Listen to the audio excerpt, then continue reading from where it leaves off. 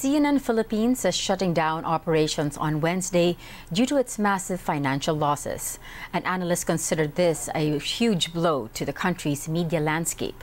Jekki Pascual reports. Employees of CNN Philippines gathered for a general assembly for the last time. Nine Media Corporation, operator of CNN Philippines, announced the closure of the media company effective Wednesday, January 31, 2024. The last airing of its live program was Monday, January 29. Nearly 300 employees are affected. Some already packed their belongings, while others took photos of their newsroom for the last time.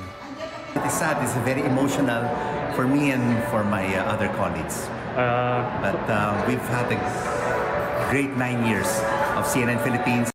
The company said the closure was due to financial losses based on data from the Securities and Exchange Commission obtained by the ABS-CBN Investigative and Research Group. CNN Philippines losses amounted to 239.7 million pesos in 2022 following a loss of 231.4 million in 2021. It also has a capital deficiency of 465.2 million pesos in 2022. Though revenues grew, so did operating costs. Branding or license fee to CNN alone amounted to 139.3 million pesos in 2022. The Center for Media Freedom and Responsibility is saddened by the closure of a major news group in the country. CMFR adds the country needs to have more journalists and reliable news sources amid the influx of disinformation.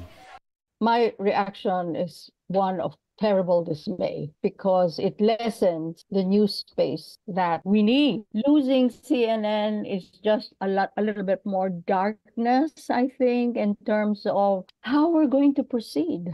Where is journalism gonna go? If we are going to be so small a part of the public exchange. De Jesus also laments the mass layoffs of journalists around the world and the uncertain future of the industry. She urges journalists to come together to discuss what can be done to make the profession more relevant to the public. I think journalists are just going to have an even more difficult time.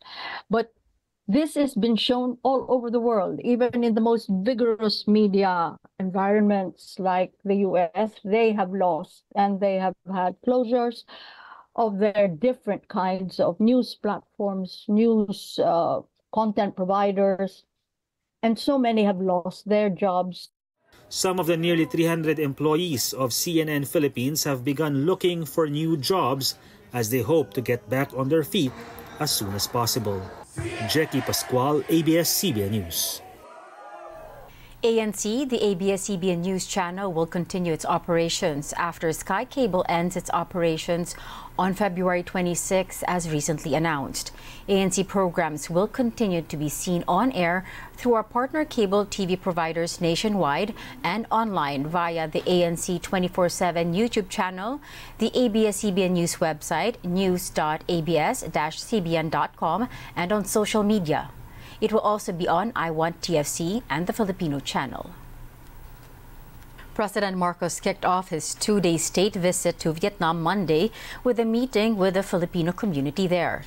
In his speech, Marcos lauded the contributions of the migrant workers in the recovery of the Philippine economy after the pandemic.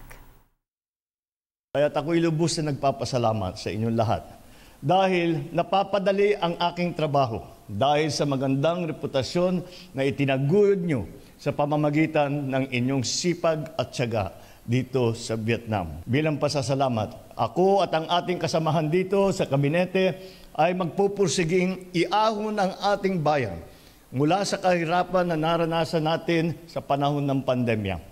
Masasabi ko sa inyo na lumalakas na ang ating ekonomiya ngayon. Marcos is set to meet with business leaders and sign dozens of deals in various sectors, including agriculture. He will also meet with Vietnamese officials to discuss possible areas of collaboration in maritime security and defense.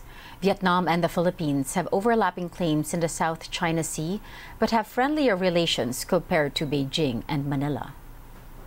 Dahil alam nyo naman, ay kailangan natin makipag-ugnayan sa ating uh, uh, sa ating kapitbahay na Vietnam uh, para naman maging mapayapa ang South China Sea. Alam natin maraming nangyayari diyan at, uh, at mas mainam na meron tayong uh, uh, meron tayong usapan para hindi naman magkagulo para maiwasan natin ang uh, uh, pagkaka uh, misunderstanding, pagka uh, magkamali, uh, may madisgrasya, eh, madaling lumakihan. President Ferdinand Marcos Jr. fires back at his predecessor's fiery speech in Davao. He's blaming former President Rodrigo Duterte's supposed use of fentanyl for his behavior. See, during a prayer rally in his hometown, Duterte accused Marcos of being a drug addict. He also said Marcos was part of a drug watch list of the Philippine Drug Enforcement Agency, a claim which the agency quickly denied. I think it's the fentanyl. Mm. Uh, fentanyl is the strongest painkiller that you can buy. It is highly addictive and it has a very serious uh, side effects. And PRRD has been taking the drug for a very long time now. When was the last time he, he told us that he was taking fentanyl? Well, five, six years ago. Something like that. After five, six years, it has to affect uh, uh, yun, kaya alam po, kaya nagkakaganyan. Uh, so, you know, I, I, I, I hope his doctors bet, take better care of him. Hindi, hindi sila pinab, hindi pinababayaan itong mga nagiging problema. In 2016, Duterte admitted he used to take fentanyl for pain relief after a motorcycle accident. The Philippine House of Representatives maintains its unequivocal support for President Marcos amid this growing rift with the Dutertes. House lawmakers adopted a resolution Monday showing the chamber's firm commitment to the Marcos administration. Newly appointed House Deputy Speaker David Suarez hits Duterte's tirades against Marcos, which he called disrespectful and baseless. I think it's uh, totally uncalled for. Um, in the past two years, we have seen the performance of President Bongbong Marcos. We have seen how he steered uh, reforms in the agriculture sector, in the infrastructure sector, uh, in our economy, in the delivery of social services. And we have seen his commitment to the Filipino people The Philippine Senate set to launch an investigation into the alleged signature buying in the push for charter change believed to be initiated by House lawmakers. This even after the poll body suspended proceedings for a people's initiative. Sherrie Ann Torres reports. Senators and Senate employees went to work on Monday wearing maroon armbands with a strong message. tayo sa Senado uh, laban sa People's Initiative. Ang layunin ay tanggalin ng Senado at uh, mawawala yung check and balance ng ating uh, sistema. Hindi maganda yan para sa atin. Progressive group Bayan Muna has already started getting the signatures of those who want to withdraw their PI form signatures, which the group intends to submit to the Commission on Elections. But on Monday, the COMELEC ordered the indefinite suspension of the People's Initiative process. During Monday's session, senators applauded the COMELEC for issuing the PI directive as they issued an appeal to the House of Representatives. We remind the House of Representatives that the Constitution is not there to expand our powers as elected officials. Quite the opposite. It serves as a limit on the exercise of these powers. Kung magmamatigasan yan, at i-insist nila that, ah, teka muna, uh, nauna ako eh, dapat maunahan kita. Uh, un, parang ano yun eh, u, parang unahan. At saka mas malakas yung kapit ko. Uh, ikaw, hindi ka masyadong malakas. No? Uh, paano gagalaw yung center of power? According to Senate President Juan Miguel Zubiri, he met the President Sunday along with Executive Secretary Lucas Bersamin and Presidential Chief Legal Counsel Juan Ponce Enrile. Zubiri says the President has also promised to discuss his PI concerns with the congressman. As such, the President is set to appeal to the House of Representatives and the other People's Initiatives initiators to stop this dreaded PI or their version of the People's Initiative. In his words, Madam President, my dear colleagues, it is getting out of hand. Senators also thanked the 44 districts that did not submit signatures to the COMELEC. The Senate's investigation on the alleged PIP offs will commence on Tuesday. The Senate President says they will discuss if they will still pursue economic amendments being pushed in resolution of both houses number 6. A House leader meanwhile says they will abandon the People's Initiative if RBH 6 discussion will proceed. They approve this before the Holy Week and we, we plan to stop the People's Initiative. To allay fears. Ang gusto lang naman namin dito is to be able to have these economic amendments. Congressmen assure the public they are not out to abolish the Senate. Zubiri, meanwhile, says the Senate will still question the COMELEC's so-called ministerial duty in accepting signed PI forms.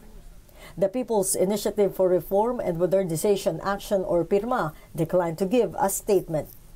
Sherrie Ann Torres, ABS-CBN News. House Majority Leader Manuel Dalipe turning down the Senate's invitation to attend Tuesday's probe. He says House leaders have their hands full crafting legislation for the Filipino people.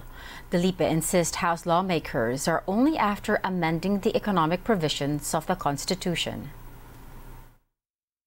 Kasi you, you cannot do something na hindi parte dun eh.